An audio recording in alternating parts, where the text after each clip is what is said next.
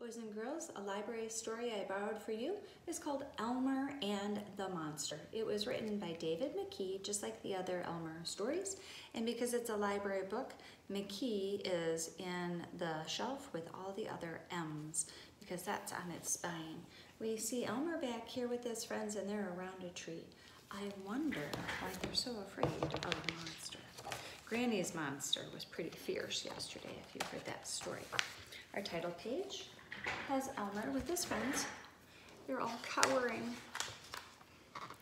Elmer, the patchwork elephant, had just started his morning walk when he heard a terrible roar.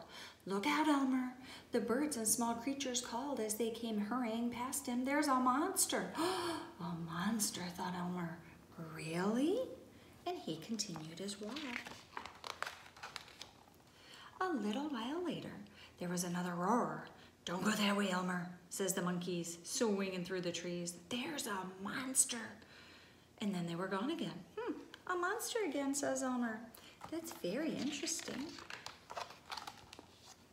Not before long, there was a third roar. Was that your roaring tiger, asked Elmer, as Tiger raced toward him. Certainly not. That was a monster, said Tiger, and he disappeared into the jungle. Fascinating, murmured Elmer and he went on his way. When the next roar came, Elmer was ready for it. Was that a monster? Elmer called out to the crocodiles, and they fled past. Yes, a pretty monstrous one by the sound of it, said the crocodiles. Turn back, Elmer. Or go on carefully, Elmer said to himself. So he did. Do you have an idea about what the monster might be like? And why Elmer can be so brave and keep going? Soon after that, there was another huge roar and a lion ran by. Nice roar, a lion, says Elmer. Uh-uh, wasn't me, says Lion. That was the roar of a decent-sized monster. I'm off to see where everyone's gone, he explained, and he ran off.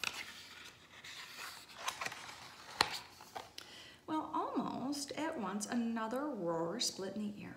Come with us, Elmer, called the elephants, and they stampeded past. There's a monster.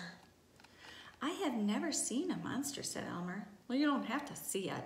Just imagining it is horrible enough, said an elephant as he vanished with the others. Elmer walked on. The next roar was very close. It shook the trees and it sent leaves flying. Cautiously, Elmer moved forward, ready to flee at any moment. He peeped through the trees and then he pushed himself through a clearing.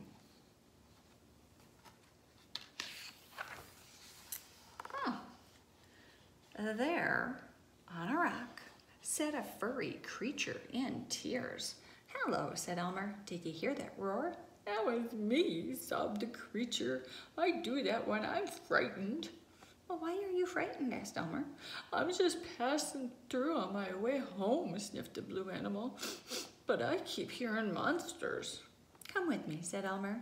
I'll look after you.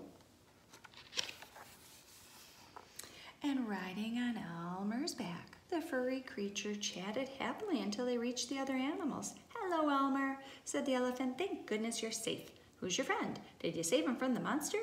This is Blue Blue, said Elmer. Go on, Blue Blue, show them. And Blue Blue opened his mouth and roar came out. Oh, the animals almost jumped out of their skins in shock. Friendly, furry Blue Blue is the monster you've been frightened of, said Elmer, and he started laughing.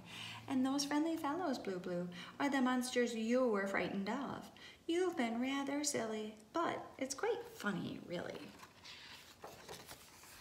So, laughing at their own silliness, and sometimes whispering boo to each other, the animals happily accompanied the monster Blue Blue on his way. And that's the end of this Elmer story. The last word we hear is the one that Blue Blue said. It was a roar. It starts and it ends with the same letter R. And what you see here is how the librarian checked it out so that I could borrow it to read it to you. There will be more Elmer adventures, so stay tuned.